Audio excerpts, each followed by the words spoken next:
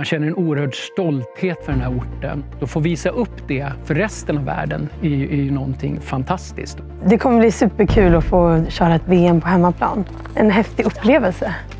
OS förra året och VM på hemmaplan, det var det mina stora mål egentligen sen jag åkte hem från Sochi. Förberedelserna börjar så pass tidigt egentligen. Många lag eh, försöker ta sig hit redan tre år innan för att liksom börja känna på backen. Alltså jag trodde ju när jag började på det här jobbet att jag hade väldigt mycket erfarenhet efter tio år i världscupen och jag tyckte att ja, men jag vet det mesta om skid, skidtävlingar. Men sen det slog mig ganska fort hur lite man vet.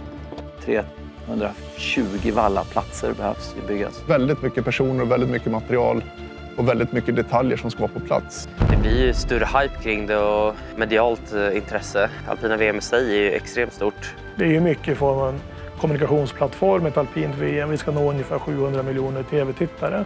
Om jag får starta i VM så kommer alla mina nära och kära vara här och titta. Jag blir pirrig i hela kroppen när jag tänker på den känslan.